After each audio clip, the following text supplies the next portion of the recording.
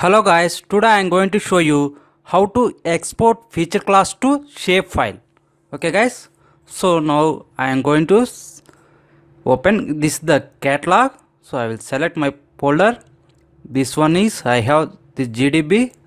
So here you can export complete GDB either you can export feature class wise. So I am going to export complete GDB. So I, I will select GDB then click right button next click export next feature class to shape file. Click. Then wait. See here all feature class here showing.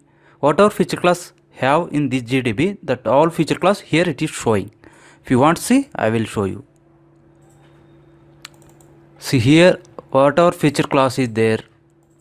All feature class here here is showing.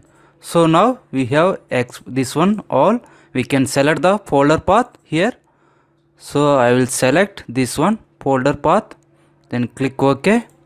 Then click run button. Click run. See we have to wait. Once it is finished we will see.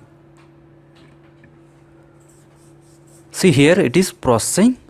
Here how much percentage completed? Here showing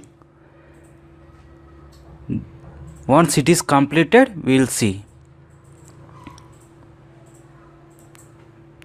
So now it is completed. Feature class to shape file. Now we are going to open the folder path. So we have select this folder path then click right button.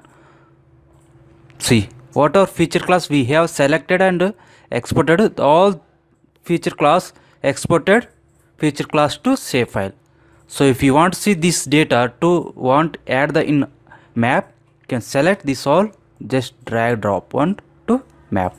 See here whatever feature class we have exported feature class to shape file. See we added data il exported to feature class to shape file. Like this we can export feature class to shape file. Okay guys? Thank you. Thank you so much